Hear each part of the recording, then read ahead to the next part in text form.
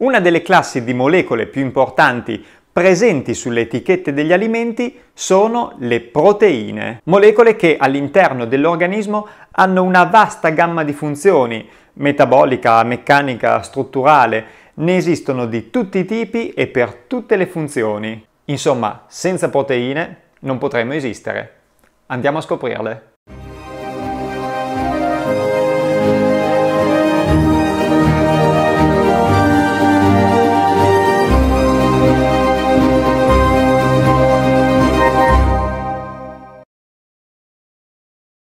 Le proteine sono costituite dagli amminoacidi, che sono 20.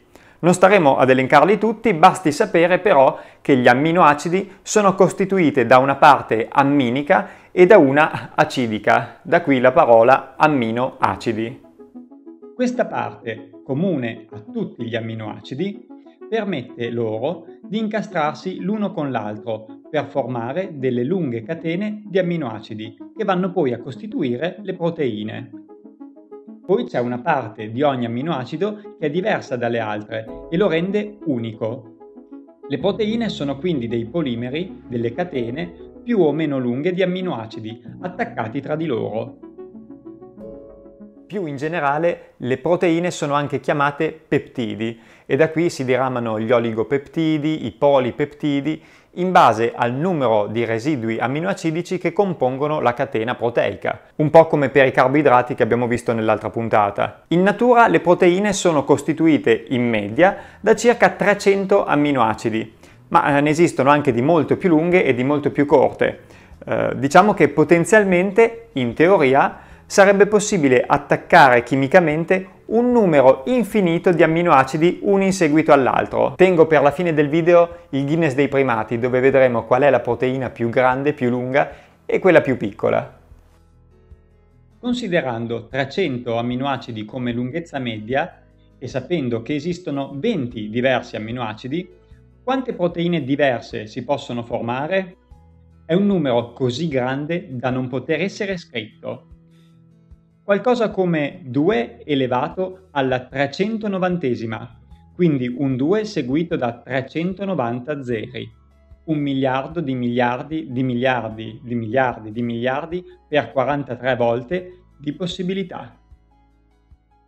Inoltre dobbiamo anche ricordare che queste catene di amminoacidi non sono lineari, ma eh, si possono avvolgere in uno spazio tridimensionale e questo avvolgimento è eh, sinonimo ancora di un aumento di variabilità. Sono quindi una delle classi di molecole più eterogenee di tutti gli organismi viventi, proprio per questa capacità di essere modellate, modificate e adattate in base alle situazioni e alle esigenze specifiche di ogni organismo vivente. Le proteine quindi sono un po' come eh, la plastilina, il pongo, il didò. Se sei abbastanza bravo e sai cosa vuoi costruire, puoi modellare praticamente qualunque cosa. Ma poiché in natura nulla avviene per caso, a dirigere i lavori ci pensa il DNA, perché è proprio sul codice genetico che sono scritte le istruzioni per costruire le proteine utili all'organismo, tramite un meccanismo chiamato sintesi proteica. Proprio per questa loro proprietà, quindi di essere modellate a piacimento, le proteine svolgono pressoché qualunque funzione all'interno dell'organismo. Sarebbe impossibile descriverle tutte. Eh, costituiscono i capelli, le unghie, la pelle, alcuni pigmenti. Eh, solo nel corpo umano ne sono state identificate decine e decine di migliaia e lo stesso vale anche per il resto del mondo animale, vegetale, batterico e virale, insomma per tutti gli organismi viventi. Anche gli enzimi sono delle proteine, solo che anziché avere un ruolo strutturale hanno un ruolo biologico attivo nelle reazioni del metabolismo. Ad esempio la lattasi è un enzima che consente di digerire il lattosio, ovvero è una proteina con una funzione metabolica. Però cosa succede quando mangiamo le proteine? Le proteine ingerite per come sono fatte, sono in gran parte inutili al corpo umano. Hanno ruolo strutturale ed enzimatico all'interno dei sistemi biologici a cui appartengono, ma il loro ruolo spesso non serve a niente all'interno di un organismo diverso da quello da cui derivano. Un esempio pratico che possiamo toccare con mano è quello della clorofilla, che all'interno degli organismi vegetali svolge un ruolo fondamentale, ovvero dà origine alla fotosintesi clorofilliana, ma una volta ingerita la clorofilla all'interno dell'organismo umano, questa perde ogni tipo di funzione. Quando le proteine raggiungono lo stomaco, iniziano delle reazioni chimiche che le smontano letteralmente in oligopeptidi, quindi piccole catene di aminoacidi, e successivamente nell'intestino, per azione di enzimi intestinali, tutto viene riportato allo stadio dei singoli aminoacidi.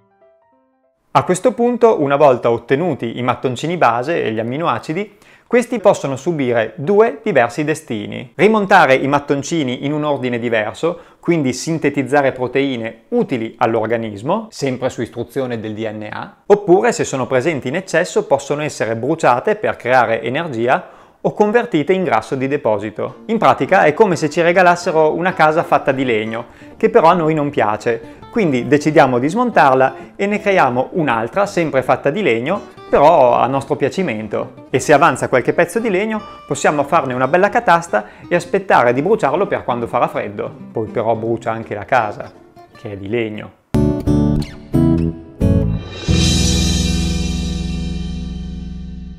Le proteine, proprio per le loro funzioni, si trovano ovunque, ma principalmente si trovano nelle carni, nei latticini, nelle uova, nel pesce, nei legumi. Teniamo conto che proteine di diversa origine contengono amminoacidi diversi, quindi le fonti proteiche non sono tutte uguali. L'organismo per sopravvivere ha bisogno di tutti gli amminoacidi, ad esempio il triptofano, però eh, non è detto che il triptofano sia contenuto in tutte le proteine, in alcune c'è, in altre no. Oltre alla questione qualitativa, quindi quali amminoacidi sono contenuti all'interno di una proteina, dobbiamo ragionare anche sulla quantità di proteine contenute all'interno di un alimento. Spesso sentiamo dire che le lenticchie possono sostituire le carni nell'apporto delle proteine, ma se in una carne di pollo troviamo 32 grammi di proteine ogni 100 grammi, nelle lenticchie sono solo 7,6. Significa che devo mangiare almeno mezzo chilo di lenticchie per avere lo stesso apporto proteico in grammi che avrei mangiando semplicemente 100 grammi di pollo e comunque sarebbero proteine diverse, che poi non è neanche per il mezzo chilo di lenticchie, sono anche buone, che poi c'è il bombardamento. Come già visto nella prima puntata, il metabolismo delle proteine porta alla produzione di circa 17 kJ di energia per ogni grammo di proteina bruciato. Quindi saremmo portati a credere che le proteine hanno lo stesso apporto energetico dei carboidrati, però non è così. I carboidrati restano la fonte energetica preferita delle cellule. La digestione delle proteine, infatti, è un processo metabolico molto dispendioso per l'organismo dal punto di vista energetico. Quindi, se anche stiamo producendo 17 kJ di energia bruciando un grammo di proteine, in realtà ne stiamo spendendo tantissimi proprio perché questo processo avvenga e alla fine il bilanciamento è molto inferiore rispetto ai 17 kJ. Prima di terminare il Guinness dei primati delle proteine che avevo promesso all'inizio. La proteina più abbondante in natura è la clorofilla che serve a svolgere appunto la fotosintesi clorofilliana. La proteina invece con la catena di amminoacidi più lunga è la titina che raggiunge i 30.000 residui amminoacidici. E infine quella più corta è una piccola proteina presente all'interno dei ribosomi costituita da soli 100 residui amminoacidici. Il nostro viaggio all'interno del mondo delle proteine termina qui e nella prossima puntata parleremo di un'altra categoria di cui si sente parlare tantissimo e che troviamo spesso scritta all'interno delle etichette degli alimenti e di cui si fa tantissima confusione. Parleremo degli acidi grassi. Grazie per averci seguito fino a questo punto, io vi ricordo che non sono né un nutrizionista né un dietologo e che lo scopo di questa serie è quello di fornire qualche informazione base che vi permetta poi di approfondire e di scaturire la vostra curiosità riguardo a queste importantissime classi di molecole. Quindi se avete bisogno di una dieta, di consigli nutrizionali, eh, vi invito a rivolgervi a personale specializzato che abbia conseguito i regolari titoli di studio e che abbia tutte le carte in regola per svolgere la propria professione. Le informazioni di questo video sono puramente a scopo divulgativo e didattico e servono a soddisfare le vostre curiosità, conoscere qualcosa di più riguardo a quello di cui ci nutriamo e appassionarvi alla scienza. Per sostenere Max Relativo potete fare le solite cose come cliccare a mi piace, iscrivervi al canale, cliccare sulla campanellina, bla bla bla. Oppure potete acquistare su Amazon il thriller Coppie Imperfette, che è un giallo a sfondo biotecnologico che tratta in chiave romanzesca alcuni dei temi trattati sul canale. Per organizzare eventi divulgativi a scuola, al cinema, a teatro o dove volete, basta contattarci tramite il nostro indirizzo email. Nell'info box trovate qualche link utile a libri e a siti che sono stati utilizzati per realizzare questa puntata. Grazie per averci seguito e alla prossima puntata di A Tavola con. Ciao!